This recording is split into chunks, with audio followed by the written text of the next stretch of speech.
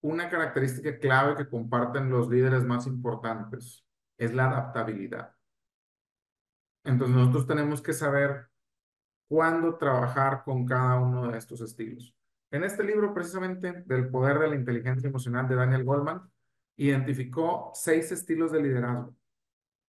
Cada estilo tiene sus propias ventajas, sus desventajas y unas condiciones donde es más apto para utilizarse que en otras condiciones. Entonces vamos a conocer cada uno de los estilos de liderazgo y yo estoy seguro que más de uno se va a identificar en mayor o menor medida con estos. El primero de estos es un estilo de liderazgo visionario. Incluso el mismo libro le llama también autoritario y es importante no confundir con el coercitivo. El estilo de liderazgo visionario se caracteriza por tener una visión clara y que motiva a la gente a alcanzar dicha visión. Es muy útil para alinear a la gente y para inspirarlos. El tema con el estilo de liderazgo visionario es que es muy hacia lo macro. Nos dice hacia dónde queremos ver y no necesariamente se centra en el cómo. Entonces, un líder visionario comparte hacia dónde debemos de llegar, pero no necesariamente se centra en el cómo llegar hasta allá. Tenemos otro estilo de liderazgo que se le llama el coach. Las características principales de este estilo de liderazgo es que se enfoca en desarrollar y empoderar a los miembros del equipo. Fomenta todo lo relacionado al crecimiento individual y a la mejora continua. Este estilo de liderazgo es especialmente útil, por ejemplo, cuando tenemos miembros del equipo que tienen mucha voluntad, pero poca experiencia. Cuando tenemos tiempo para poderlos desarrollar. Un coach va directamente de la mano formando a la gente. Este estilo de liderazgo no puede aplicar todo el tiempo porque a veces la inmediatez de los resultados no nos permite poder desarrollar a la gente como quisiera. El otro es el estilo conciliador. Él promueve la armonía y la resolución de conflictos con un gran ambiente de trabajo y de apoyo mutuo. La parte con el tema de conciliador es que puede ser que sea lento para la toma de decisiones, porque necesitamos estar todos de acuerdo.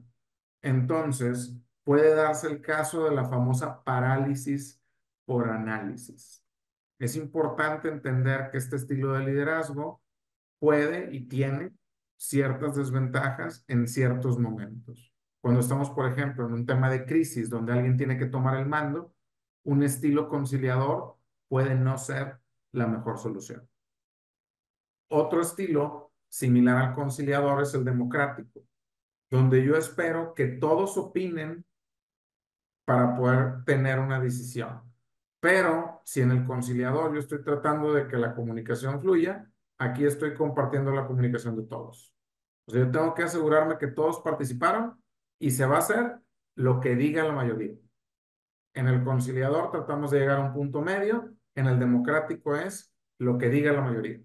Tiene básicamente las mismas desventajas en relación a que puede pasar la parálisis por análisis y que en un tiempo donde yo necesito tomar decisiones rápidas o accionarme al momento, puede ser que estos dos estilos no sean lo mejor. Hay otro que le llama ejemplarizante. Está interesante porque la palabra en inglés está mejor. Eh, en español suena medio raro. Él es un modelo a seguir. Él trata de inspirar a otros a través del ejemplo personal. Aquí un punto importante es que la gente que tiene mucho este modelo puede llegar a tender, no que lo sea, a empezar a hablar mucho de sí mismos. O sea, es que yo cuando hice esto, yo tengo esto, yo hago esto otro, pero él busca ser un modelo a seguir. Él busca ser un líder como todos quieren que sea. ¿A qué me refiero? Trata de enaltecer sus cualidades sin llegar a la egolatría y trata de presentar el modelo perfecto del líder basado en su forma de trabajar. Esto obviamente no cuadra con todo el mundo. Por eso tiene sus desventajas. Y el último es el que le llaman coercitivo o dominante. Y yo sé que estamos en la concepción de que dominante coercitivo con órdenes directas, con control, suele ser algo malo. y en realidad no necesariamente es algo malo. Hay situaciones de crisis, hay situaciones de urgencias donde necesitamos que alguien tome las decisiones difíciles y que se haga responsable de esas decisiones difíciles. En esas condiciones, un estilo de liderazgo dominante es algo necesario y es algo útil y es algo que le va a servir a la organización. Entonces, si bien es cierto, el estilo dominante puede llegar a ser desgastante, no lo podemos dejar pasar por alto. Ni podemos decir que no sirve, ni podemos decir que no me, no me ayuda. Cuando tenemos un equipo que es muy disperso, el estilo dominante puede ayudarnos para que todo el mundo sepa qué es lo que tenemos que hacer, para que no se pierdan en esfuerzos individuales. Entonces el estilo dominante tiene su lado positivo. A veces lo vemos como que ser coercitivo es algo malo y que jamás podemos llegar a decidir de manera directa algo. Ojo, es importante no confundir un estilo de liderazgo coercitivo con faltarle al respeto a la gente, con dominar la conversación, con imponer nuestra voluntad a toda costa. O sea, son cosas diferentes. Una cosa con un estilo dominante es que yo decida algo y a lo mejor lo estoy decidiendo basado únicamente en mi experiencia, estoy tomando la decisión rápido, estoy haciendo que la gente se mueva, estoy tratando de evitar la parálisis por análisis. Eso es muy diferente que yo llegue, grite, le diga a la gente que no soy para nada y que yo sí sé hacerlo y que lo ponga a hacerlo. Son cosas completamente diferentes. Entonces, partimos desde que yo le explico a la gente hacia dónde debemos de ir sin decirle necesariamente el detalle de cómo, hasta formar a la gente como un practicante, como un ingeniero junior, dedicarle tiempo para explicarle, conocerlo de manera personal, pasando por ser un líder donde yo espero que todo mundo esté de acuerdo y que evitemos los conflictos y promover un ambiente común de trabajo, sin olvidar lo importante que es escuchar las opiniones de todos para cada decisión, hasta tratar de ser de manera personal y profesional el mejor líder posible y promover, como yo soy, para por último llegar a decidir de manera ágil decisiones difíciles todo el tiempo. Entonces, como puedes ver, estos seis estilos de liderazgo, no puedes decir cuál es el mejor, porque no existe un mejor estilo de liderazgo. Tenemos que tratar de saber cuándo tenemos que adaptarnos en cada uno de ellos. Incluso aquí nos dice cómo resuena con el equipo.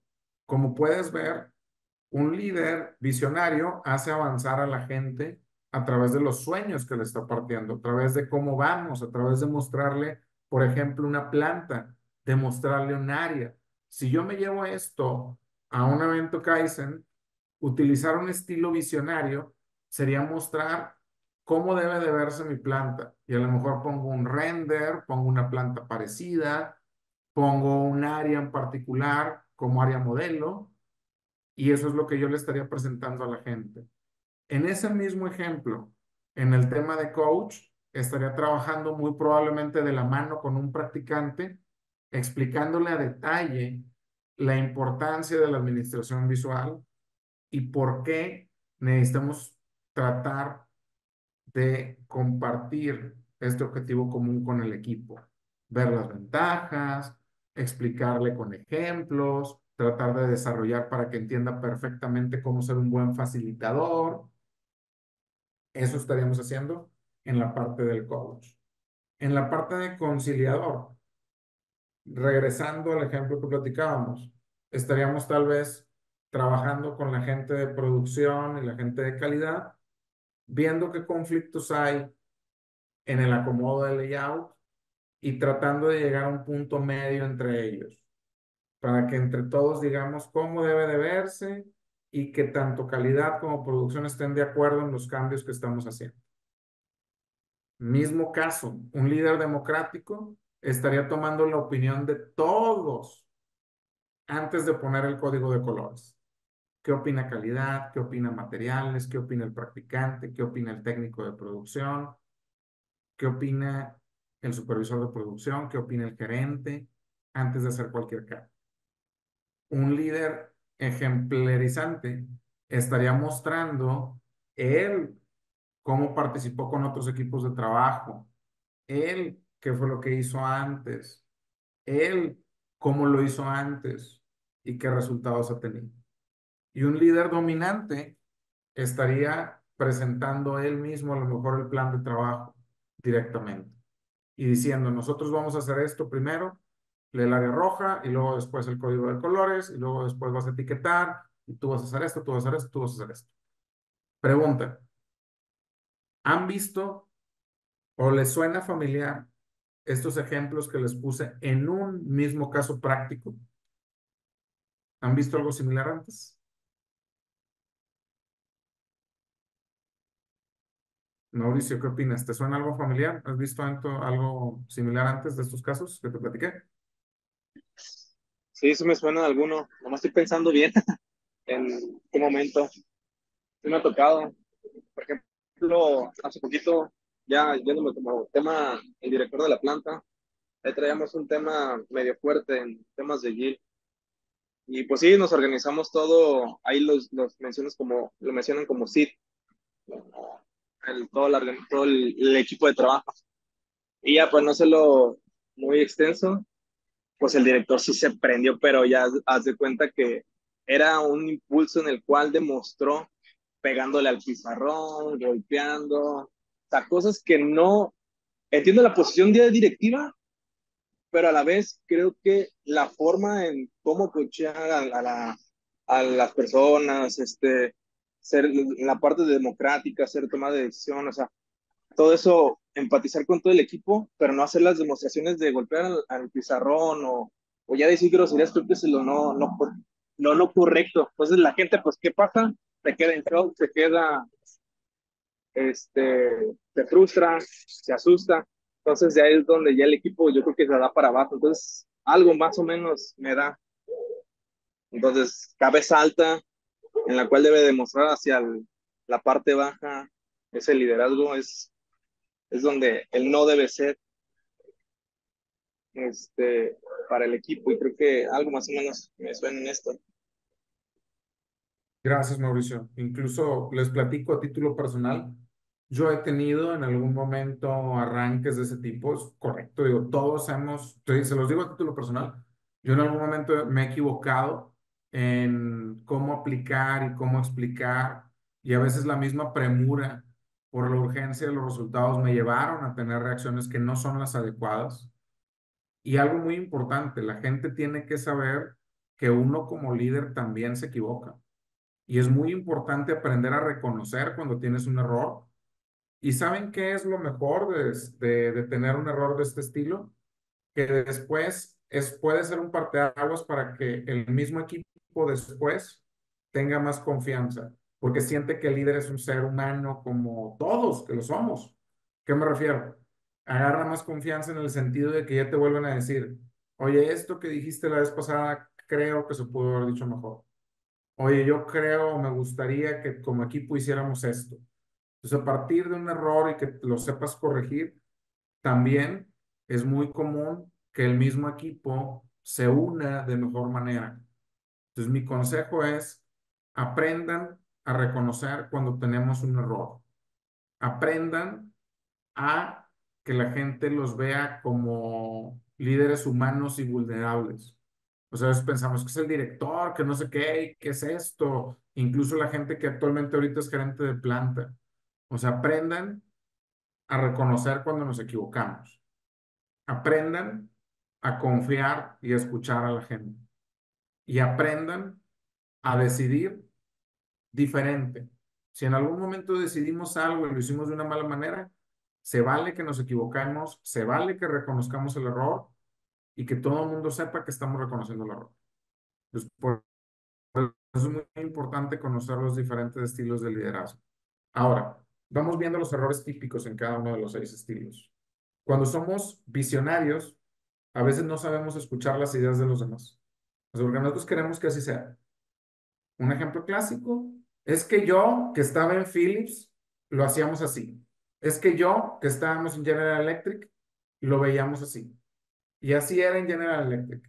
O así era en tal planta. Entonces, nos cerramos a lo que ya presentamos. Y así tiene que ser.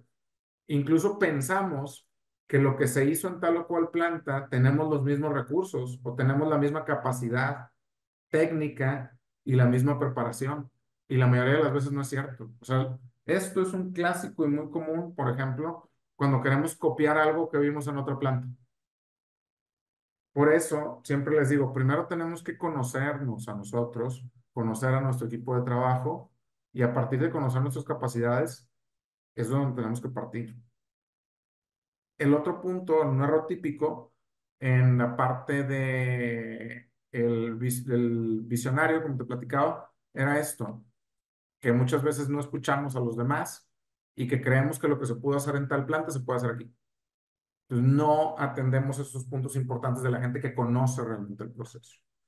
En cuanto al estilo de liderazgo de coaching, no todo el mundo responde igual ¿eh? al coach. Incluso hay gente que no le gusta que lo estén atendiendo de manera detallada porque siente que está siendo víctima del micromanagement o siente que no están confiando en su capacidad. Ahorita por aquí Pablo nos decía, oye, pues es que a mí me gustaba porque me dejaba trabajar. Yo estoy seguro que si alguien está todo el tiempo atrás de Pablo preguntándole qué está haciendo y cómo va y tratando de explicarle todo el tiempo todo, muy probablemente le va a decir, oye, esta persona, pues a lo mejor no me conoce o cree que no sé hacer las cosas. Y es muy probable que a lo mejor él no le guste trabajar con alguien que esté pegadito con él. A mí en lo personal, te platico, este estilo de liderazgo es a veces poco probable tenerlo con la urgencia de resultados que tenemos en general en las plantas.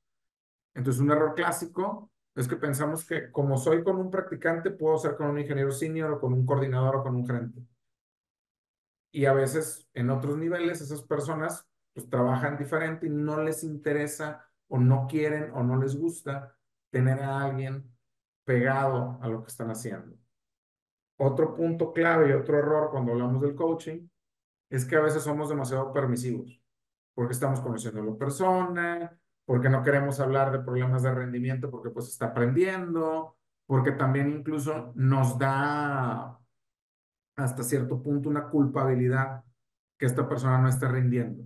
Porque decimos, oye, si yo lo estoy coachando y como que ya no sirve, entonces pues el coach malo soy yo, por eso él es malo. Entonces cuando tenemos problemas de rendimiento o de falta de actitud o en general problemas, muchas veces podemos ser permisivos por eso. Entonces podemos acabar siendo complacientes. Eso no es lo mejor. En el conciliador, pues el problema con el conciliador es que a veces evitamos el conflicto. Y la realidad es que el conflicto es necesario. El conflicto y el tener opiniones distintas favorece el crecimiento.